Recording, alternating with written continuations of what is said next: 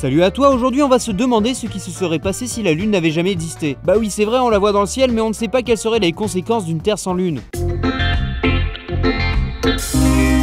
Avant de commencer, il faut savoir que cette vidéo se rapproche du style de l'Uchronie. C'est un genre de fiction qui se repose sur le principe de réécriture de l'histoire à partir de la modification d'un événement du passé. Nous allons donc voir au cours de cette vidéo les conséquences qu'aurait pu avoir une non-formation de la Lune. Au passage, si vous aimez cette vidéo et ce style, je vous conseille deux chaînes spécialisées dans l'Uchronie, Altériste et Uchronique. De toute façon, j'en reparle à la fin de la vidéo.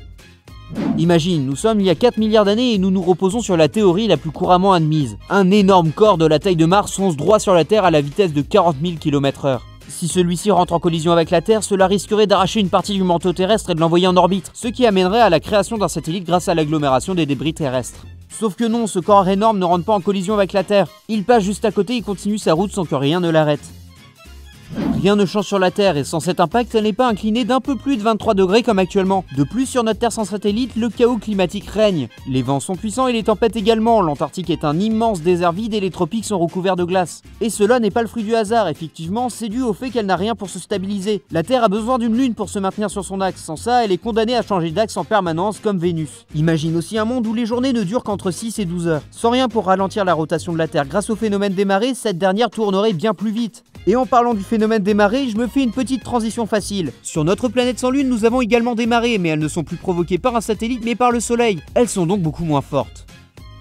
Mais d'ailleurs, pourquoi je te parle? Bah oui, sans la Lune, nous n'existons pas. Pour cela, reposons-nous sur ce que disait un certain George Darwin, fils de Charles Darwin. Il a d'abord remarqué que la Lune s'éloigne progressivement de la Terre, environ 3 cm par an. Mais en faisant le processus à l'envers, on se rend compte que la Lune devait être bien plus proche de la Terre il y a plusieurs milliards d'années. Ces calculs se sont arrêtés à une époque où la Lune devait être à environ 8000 km de la Terre, contre 380 000 actuellement. Et vu que la Lune est bien plus proche de la Terre, les marées étaient bien plus puissantes, pouvant atteindre plusieurs centaines de mètres de hauteur. Tu imagines bien que toutes les terres étaient submergées lors de marées. C'est sûrement ce mélange entre débris de terre emportés par le courant et la mer qui était à la base de la vie. Ce dernier contenait des minéraux et des substances nutritives. Donc s'il n'y a pas de lune, on n'existe pas, comme quoi on pourra encore dire qu'on a eu de la chance. Si cette vidéo t'a plu, je te conseille fortement les chaînes d'Altériste et du Chronique. N'hésite pas à dire ce que tu en penses dans les commentaires ainsi qu'à proposer ta version de l'Uchronique car je n'ai dit que ma version des choses. Tu peux aussi me rejoindre sur les réseaux sociaux, les liens sont dans la description et surtout j'y poste des avant-premières. Sur ce, à mardi prochain.